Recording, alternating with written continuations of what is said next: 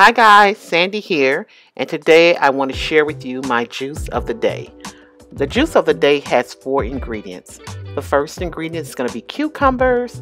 The second is going to be a nice big chunk of lime. And then I'm going to be also using kale as well as kiwi. So why I chose these ingredients, well, I will tell you. So the reason why I chose lime is because limes are loaded with nutrition. They boost the immunity, they reduce heart disease, and guess what, y'all? They even promote healthy skin. Then I have kale. I mean, I am using the curly kale, which is very common. Kale, as we know, is a nutrition superstar. It is packed with vitamin A, K, B6, and so much more. Then we have a nice luscious piece of kiwi.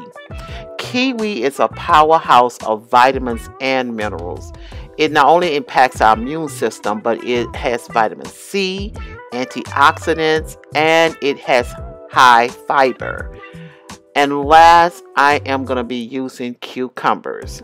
Cucumbers, each cucumber is about 95% water, and it has a unique set of antioxidants. Their antioxidants not only protect our cells, because it reduces inflammation. Cucumbers um, can reduce your cholesterol numbers, and you know that has a direct impact on our heart health. So, this is what I'm going to be juicing today.